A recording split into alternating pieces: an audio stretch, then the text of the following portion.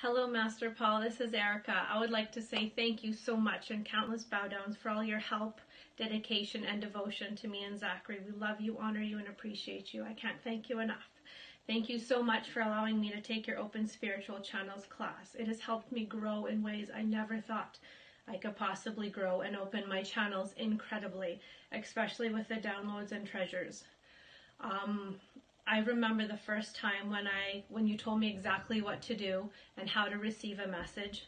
I was once again meditating at two in the morning when the kids have finally gone to bed and don't need any assistance, and the message came through, and it came through my message center, and it was absolutely incredible. And I heard the words Lord Ganesha, and I'm very sorry for texting you at two o'clock in the morning because I couldn't believe it. It sounded like the message came to me. I got a message and I've never heard of these words before and I contacted you and you told me yes, the message was correct.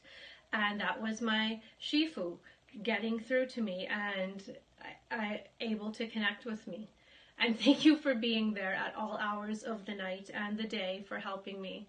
Uh, your class is absolutely incredible in many ways. Thank you so much.